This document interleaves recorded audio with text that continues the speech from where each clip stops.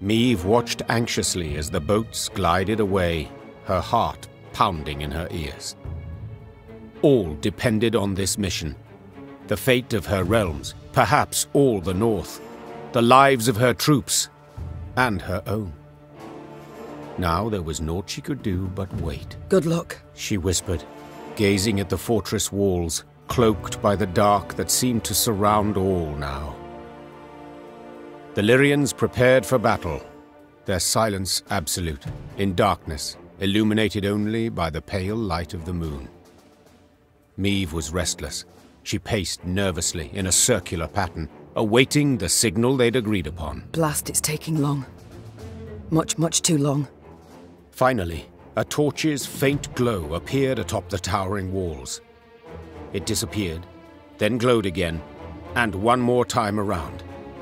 Meve leapt in the air, and as she did so, barely stifled a cry of utter joy. They made it!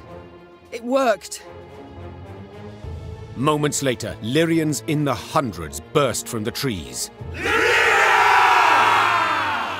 The Nilfgaardian defenders loaded their catapults and ballistae. They did so slowly, convinced the castle walls remained impenetrable. Then they heard chains, grinding and clinking, and the sound sent shivers down their spines. Bewildered, they watched the main gate rise as the attacking force rushed forth. Chase! Act! Quan! Ayan! Lydian! General aep Dahy dispatched an elite unit to take back the winch at once. Yet he saw this was in vain and all was lost when Meve rode into the castle courtyard. Meve had begun the day known as a great warrior. Yet by night's end, legend was the cloak she wore.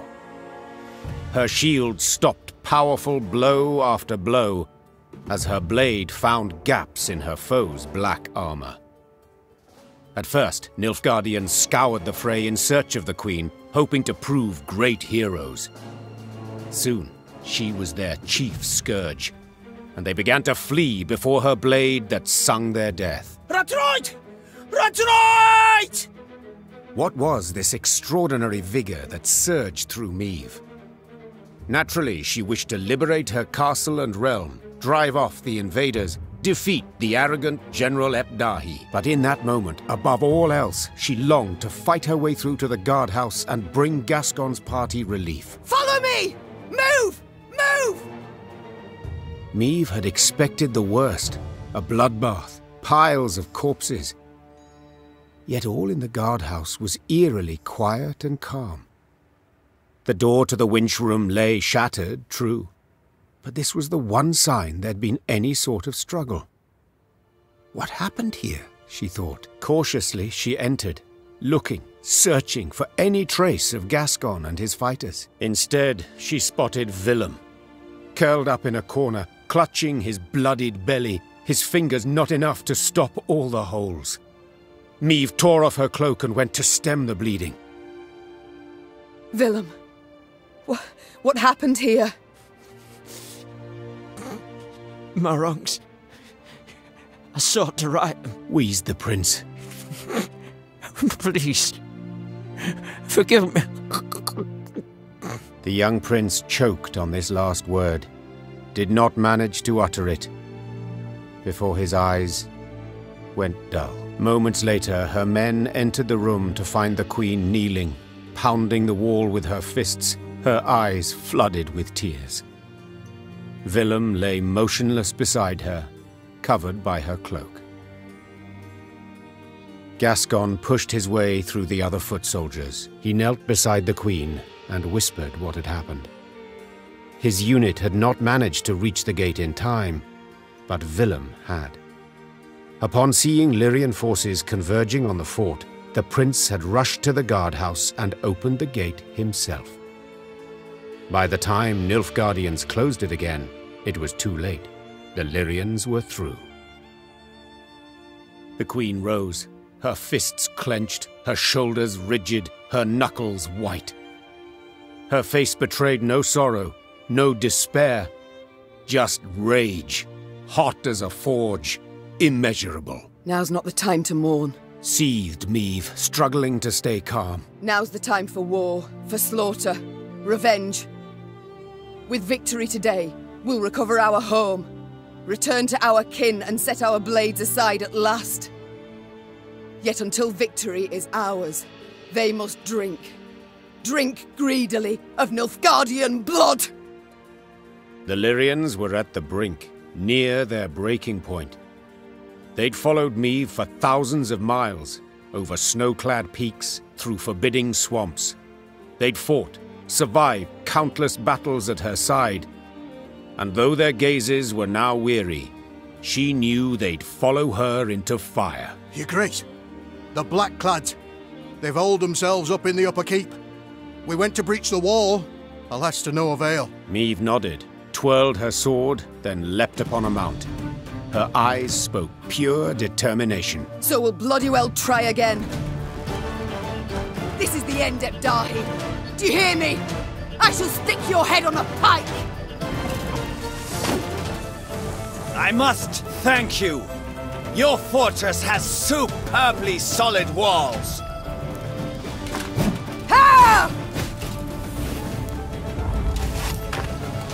Fools! I'm surrounded by fools!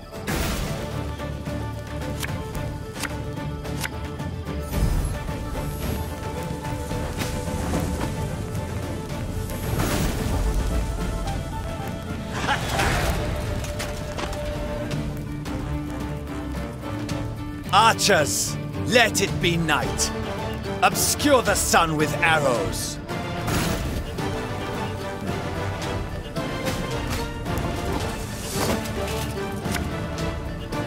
Make love, not war.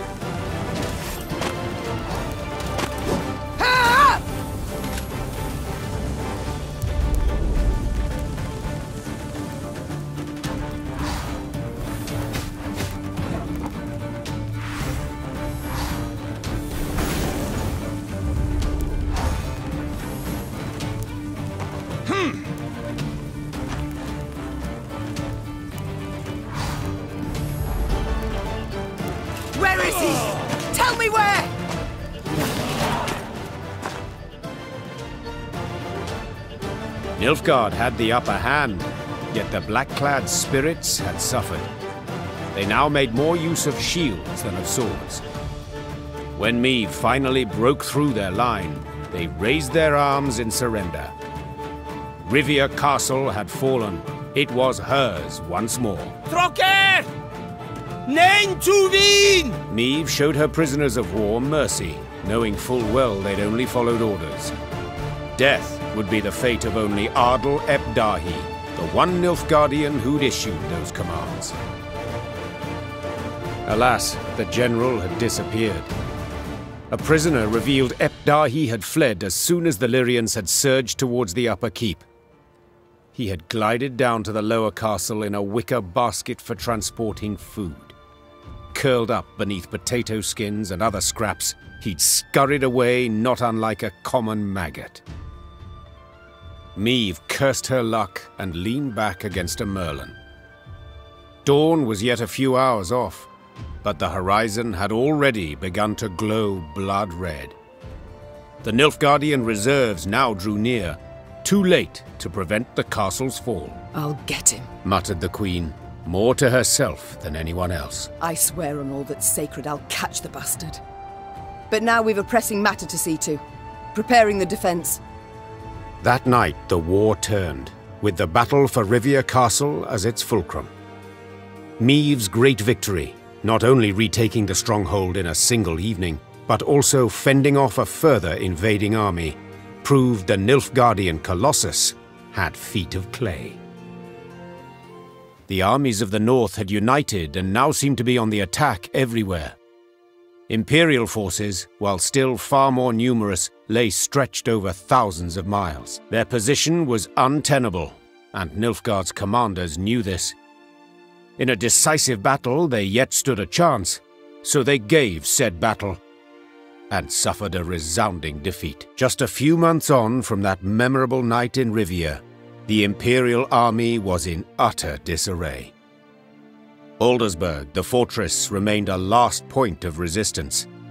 General aep Dahy and what had survived of Army Group East had dug in there, this place, where Nilfgaard had triumphed grandly in the war's early days, would now bear witness to its impending defeat. It seems history, after all, has a sense of justice, or humour, or both. Though Meve had already reclaimed her realm, she refused to retire her sword just yet. For King Demavend had requested her aid in purging Aedirn of the invader. How could she refuse? She owed the king a favor, firstly. Yet she also had a burning desire to settle the score with aep Dahy. Demavend's envoy and I spoke, Your Majesty. The king has Aldersburg surrounded. He awaits and won't begin the assault till you arrive. Good. I truly hate to miss it. Tell the troops to prepare. Gear and ire. Of course, Your Grace. Yes? Is there something else? Pardon my boldness, Your Grace, but... I can't help but be concerned. You don't sleep. You've the air of illness about you. Reynard, I just buried my son, who died in my arms, God's damn it. Yes. Died a hero. Your Majesty, I wasn't sure Villem could ever wash away the shame. He'd betrayed his country, his mother, aligned with the fiercest of our foes. But his actions in Rivia washed away his wrongs. Villem showed himself worthy to be called your son. I don't say any of this to deepen your grief, Your Majesty. I mean merely for you to be proud of him.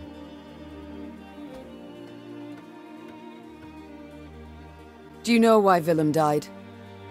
Well, he opened the gate for us, and He died because I ignored him, neglected him.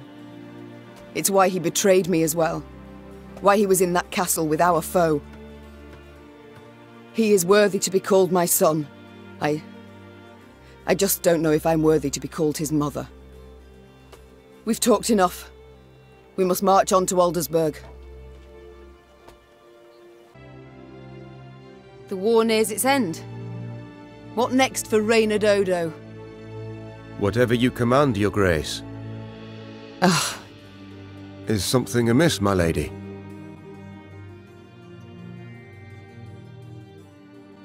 To be perfectly blunt, I've no wish to give you orders anymore.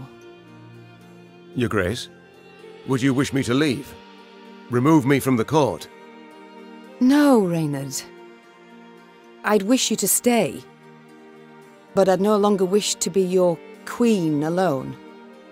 Do you catch my meaning?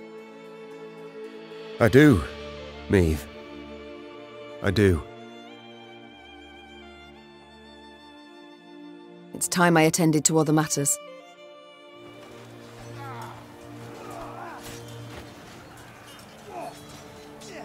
The Lyrian army had grown into a great serpent.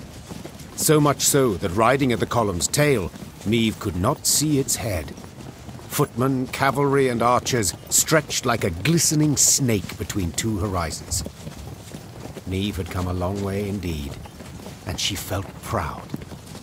Suddenly, Meve heard angry cries and the clash of steel against steel, all at the column's front. Those ranks! To the left! Man's left! Support the flank! Meve drew her sword, spurred her horse, and galloped forward along the line of troops. Then, through the swirling battle dust, she spotted shimmering golden suns. Normally disciplined, determined to an extreme, these Nilfgaardians quickly broke rank and ran, Deserters! Leaderless, Your Grace. a scout reported. Headed south they was, towards the frontier. Chained prisoners now sat along the dusty road. Meve stopped in front of one. He was ragged and unshaven. Flies had taken an interest in his poorly bandaged hand. Spotting the queen, he lowered his head and quivered with terror. I know you take us for savages, Began Meve, her gaze passing over several scraggy black clads. but fear not. We shan't flay you alive nor eat you for dinner. And when a truce is signed, you'll be sent home. Where I most sincerely hope you'll stay this time. As the queen mounted her horse, she barely concealed a grimace. Her thighs were sore and chafed, her hands raw from the reins. But she bit her lip and rode on, for the prize was now very near. Meve noticed one of her scouts, a certain Corporal Larkin, halt his mount and train his gaze on the woods. Your Grace, I thought I heard something, could have sworn. A whisper, maybe, but... Hmm, nothing now. It's all gone quiet. I think I might have imagined it, in fact. Imagined? Meve placed her hand on his shoulder. No one has sharper senses than you. If you claim to have heard something, it's worth a closer look. Corporal Larkin saluted, then rode past the trees. Suddenly in shadow, he keenly scanned his surroundings. Something caught his attention. He dismounted, then brushed aside ferns, exposing tracks made in the mud. Your Majesty! He shouted, quickly turning towards the road. Sound the alarm! It's Scoia'tael! An arrow whisked through the air, pierced his throat, and suddenly silenced him. Then the forest came alive with cries in the Elder tongue. Elves on the attack. The Scoia'tael fighters stood no chance against Meve. When the sounds of battle finally ceased, the Queen, victorious, tossed aside her arrow-studded shield. She then ordered the commando's leader brought before her. She'd expected a ranter who would turn up his nose, spit in her face, and cry, Death to Ulduan! But the bloodied elf before her was no arrogant firebrand. He averted his gaze, and his lips gently trembled. Youthful you look, elf. How many summers to you? Thirty? More? Twenty-seven, my lady. Twenty-seven. A wonderful age. A shame to die so young. I beg you, Renna. For mercy, I ask. If not for me, then at the least for... Mercy? You jest. You wait in ambush, come at us like bandits, and now, now you dare ask for mercy. It was no ambush. Don't play me for a fool. I know what I saw, and am no stranger to warcraft.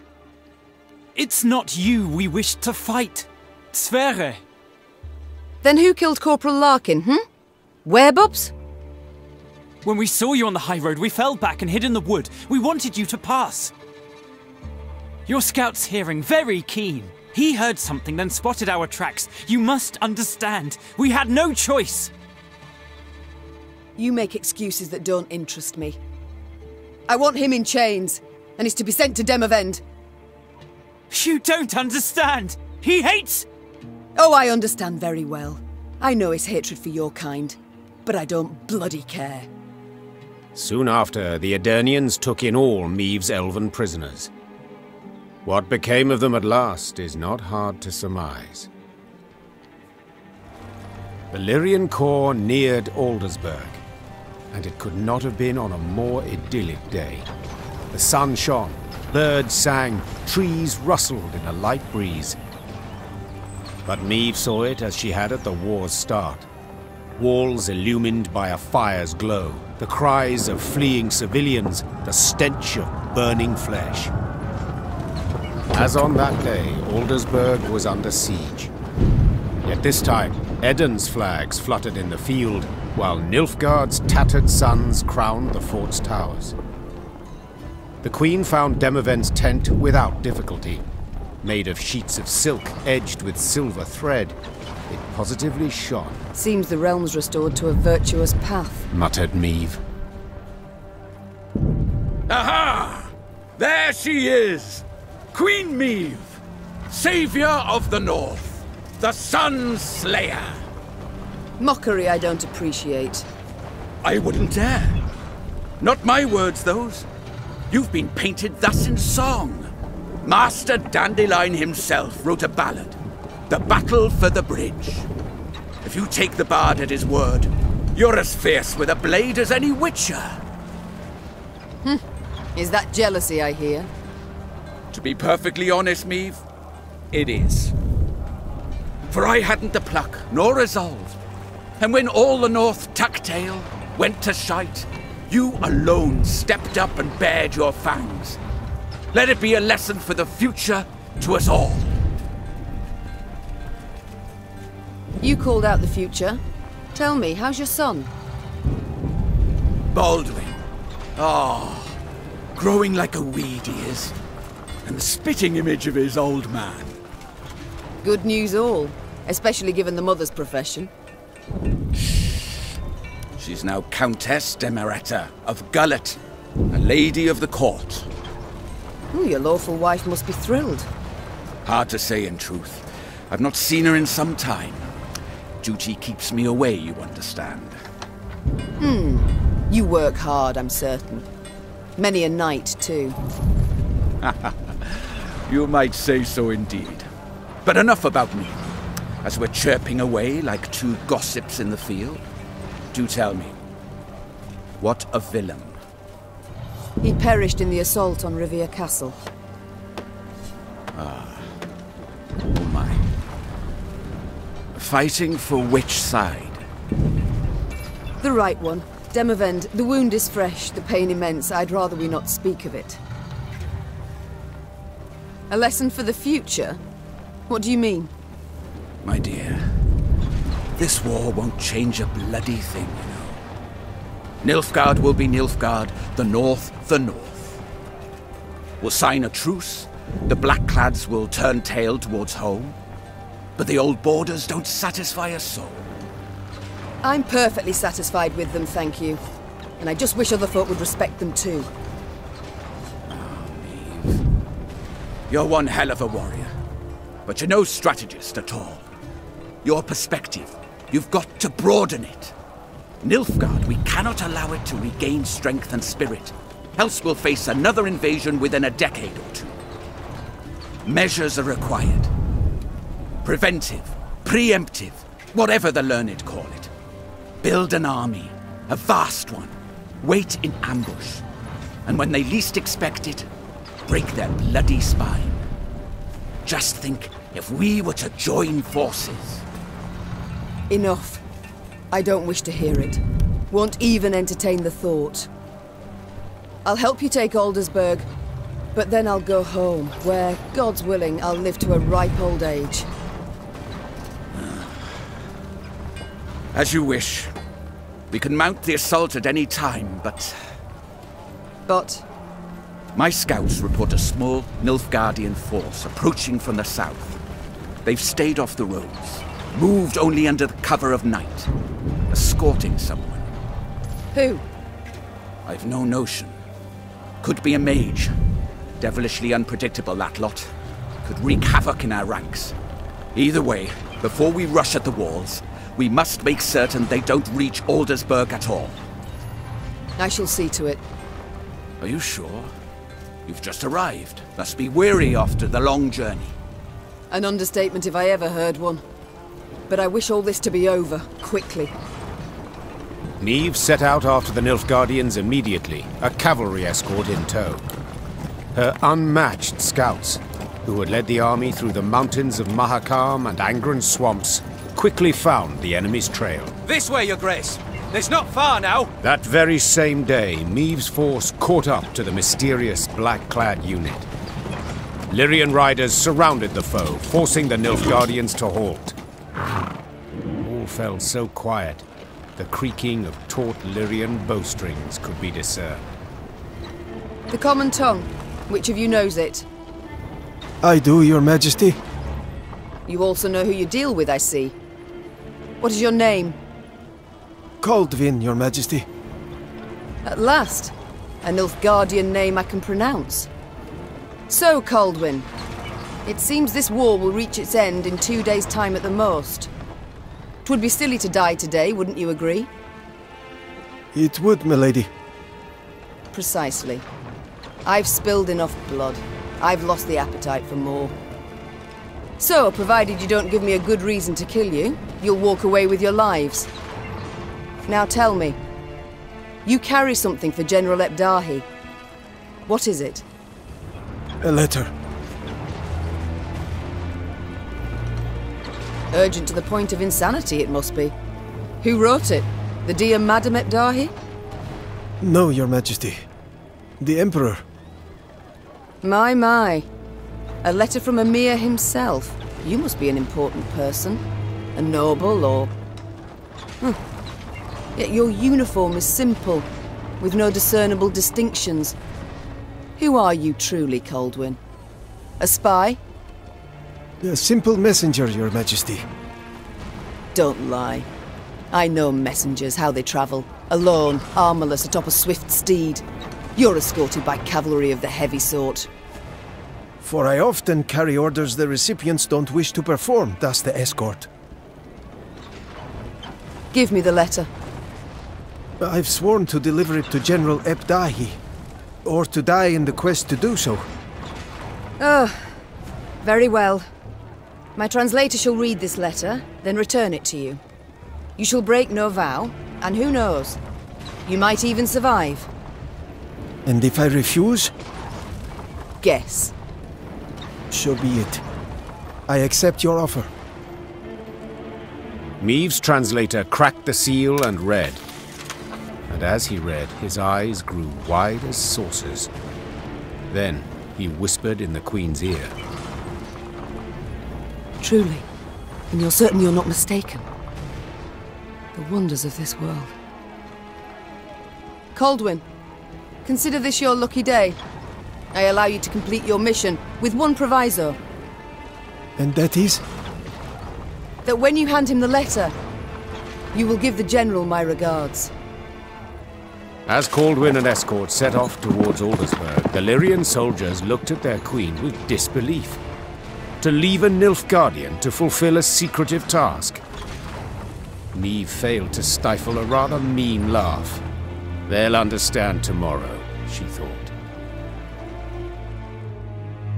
General aep Dahy had prefaced Lyria's and Rivia's invasion with a series of arrogant demands. The Nilfgaardian had been impudent, as he had felt sure he'd achieve a quick and decisive victory. Yet several months on, he too received an ultimatum. One signed by Emperor Emhyr var Emreis himself. The missive was concise and left no room for interpretation. With General aep Dahy dead, the Nilfgaardian army descended into chaos. The kings of the north, united, took advantage and struck at the foe. Their victory was complete. The Nordling forces cheered their commanders and monarchs, but for none so vehemently as the one queen among them. Many dream of achieving the impossible. Meve had done it. Through wit, determination, and boldness, she had thwarted the Nilfgaardian invasion. The queen would rule for many more years. Stern, yet ever just. Ha! So a lass saved the North from the Blackclads? That is one way to put it. Well, I'll be damned. And a chap. She find herself one in the end? Leave it be. Bloke's been spinning the tale all night. Story's done. Time we got some shut-eye. Yes. Particularly as we've yet a long road before us. Throat must be parched as old leather after all that. Except, uh, I'm itching to know what happened to the lot of them. Reynard, Gascon. Ah, very well. Whom shall we start with? Villem, a pawn, a tool in others' hands. Most, if not all, had seen him thus. Yet in the end, he proved his worth soundly. Though he'd started the war a traitor, he perished in the fray a hero, and would be remembered as such. Having settled in Rivia, Gascon embarked on a life worthy of his new title. In doublet and ruff, he looked to his ample fields and livestock in daytime, attended banquets and feasts come the eve. And then one night, he grabbed his bow and quiver, saddled his favorite mount, and disappeared without a trace. Though Nilfgaard owed its defeat chiefly to Meve, in the Empire her name was uttered with utmost respect. Returning soldiers spoke in awed tones of her courage and generosity, referring to her as Gvedin, the tenacious one. Once the Scoia'tael had withdrawn from the northern realms, non-rebel elves and dwarves emerged from the woods. Though they returned to their homes in human communities, they lived in fear of their neighbors, aware that the next massacre would eventually come. And Meve? As I said, she ruled with an iron hand, not fist. Reynard ever at her side, tempering, supportive. No longer a general and trusted advisor, he had to the Queen become something more. Much, much more. And now, if you'd allow me. Of Course. Leave him be, lads. Let him get some rest. Till the time comes for the next tale.